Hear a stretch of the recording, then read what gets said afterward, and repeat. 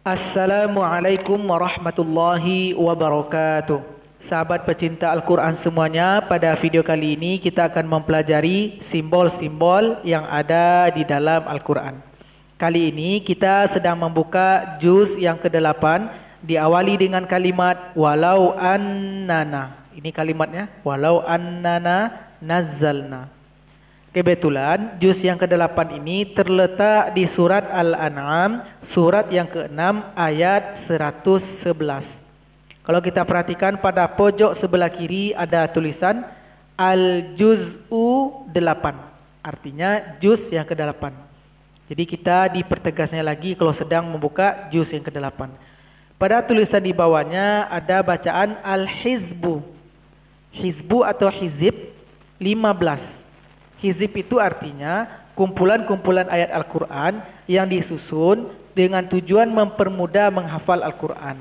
Hizib ini biasanya terdapat di awal atau di pertengahan juz masing-masing dari ayat-ayat Al-Quran. Jadi hizib ini jumlahnya ada 60.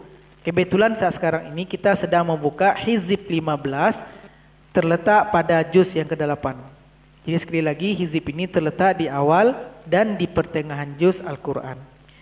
Biasanya tanda hizib itu diawali dengan tanda seperti bunga berwarna hitam seperti ini. Biasanya masing-masing hizib itu dibagi lagi menjadi tiga bagian. Bagian pertama dibagi seperempat, bagian kedua seperdua, dan bagian ketiga tiga perempat. Supaya tidak ragu langsung kita cek ayat Al-Qurannya. Kalau kita semua membaca ayat 111 berarti ini permulaan dari hizib 15. Kalau kita baca ayat 111 tadi dan berakhir kita baca pada ayat 126 berarti kita telah membaca rubuk al-hizib 15 seperempat dari hizib 15 telah kita baca. Kita masih bersemangat, kita lanjut bacanya. Kita baca ayat 127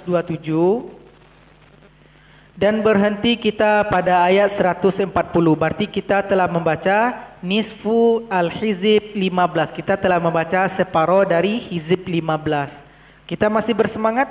Kita baca ayat 141 dan berhenti kita pada ayat 150 berarti kita telah membaca salasa arba hizib 15 3 per 4 hizib 15 telah kita selesaikan kita masih bersemangat, kita baca ayat 151 dan berhenti kita pada ayat 165.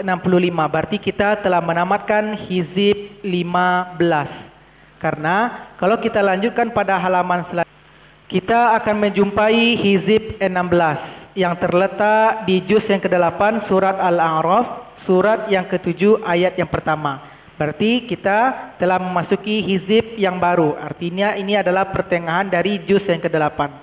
Ada beberapa catatan yang mesti kita ingat. Coba kita buka juz yang ke-7. Di sini tidak ada hizib. Tidak ada hizib yang kita lihat. Terus ke mana? Tadi saya bilang kalau hizib itu terdapat di awal dan di pertengahan. Jadi ada beberapa juz yang hizibnya itu tergusur atau berpindah kepada ayat sebelum atau ayat terakhir dari juz yang sebelumnya. Jadi hizib yang harusnya terdapat pada awal juz 7 sekarang dia berpindah ke akhir dari juz yang ke-6 ayat 82 surat Al-Maidah ayat 82. Ini dia. Hizib 13. Jadi ada beberapa catatan, kadang hizibnya tergeser ke belakang. Itu wajar-wajar saja. Tapi kebanyakan hizib terdapat di awal dan di pertengahan juz. Mudah-mudahan info ini bermanfaat. Wassalamualaikum warahmatullahi wabarakatuh.